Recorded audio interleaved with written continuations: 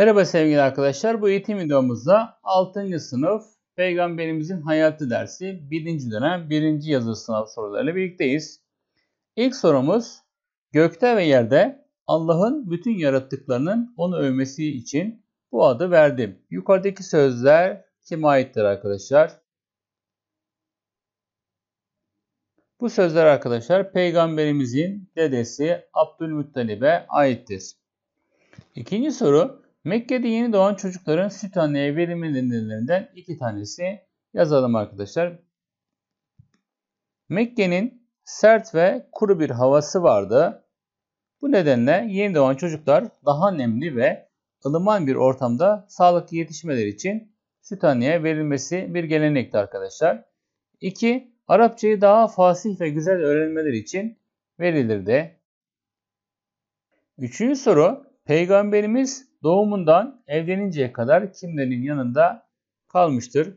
Peygamberimiz arkadaşlar doğduktan sonra yaklaşık 4 yaşına kadar süt annesi olan Hazreti Halime'nin yanına verilmiştir. Daha sonra süt annesinden geldikten sonra 6 yaşına kadar annesinin yanında kalmıştır. 6 yaşından 8 yaşına kadar dedesi Abdülmuttalib'in yanında büyümüştür. 8 yaşından sonra arkadaşlar evleninceye kadar Peygamberimiz amcası Ebu Talib'in himayesi altında kalmıştır. Onunla birlikte yaşamıştır.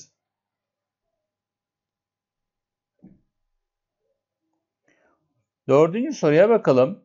Bu savaşta Peygamberimiz amcalarına ok vermiştir. Resulullah bu durumu ben amcalarıma düşmanlarının attıkları okları veriyordum buyurarak ifade etmiştir. Peygamberimizin gençlik yıllarında katıldığı bu savaşa ne isim verilir? Ticar savaşları Peygamberimiz bu savaşa katılmıştır. Diğer soruya geçelim arkadaşlar. Diğer soru 5. soru.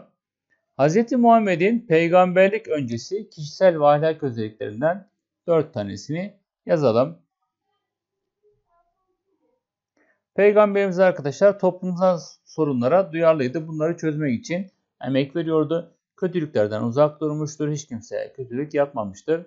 Adaletli ve güvenilir herkes tarafından güvenilir Muhammedül Emin olarak bilinirdi. Putlara hiçbir zaman tapmamıştır. Altıncı soru. Peygamberimiz amcası Ebu Talip ile birlikte Şam seferine çıktığında yolda konakladıkları bir kilisede oranın rahibi kendisine bir takım sorular sormuş ve peygamberimizin beklenen son peygamber olduğunu anlamıştır. Evet bu rahibin ismi nedir arkadaşlar? Şam'da karşılaşmış olduğu bu rahibin ismi arkadaşlar Rahip Bahira'dır.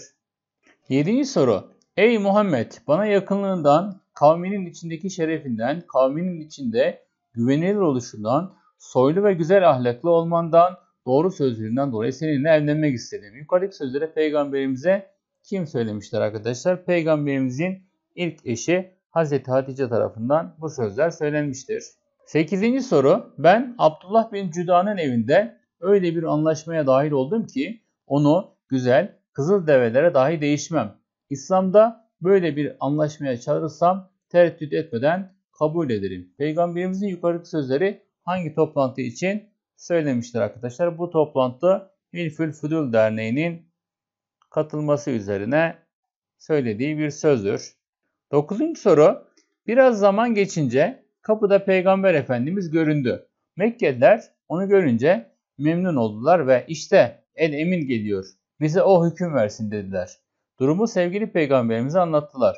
Peygamberimizi hakem tayin ettiler ve ondan aralarındaki anlaşmazlığa bir çözüm bulmasını istediler. Yukarıdaki metin hangi olayla ilgili arkadaşlar? Kabe'nin hakemliği olayıyla ilgilidir. 10. soru Medine'de 12 kişi gizlice Mekke'ye gelerek Peygamberimiz ile görüştü ve Müslüman olarak şehirlerine geri döndüler. Bir yıl sonra ise 75 kişi Mekke'ye geldi ve İslam ile şereflendi. Bu metinde anlatılan olay hangi isimle adlandırılır? Birinci ve ikinci akabe biatlar olarak ifade edilir. Eğitim videomuz burada sona ermiştir. Yeni eğitim videolarıyla tekrar görüşmek üzere. Hoşçakalın, takipte kalın.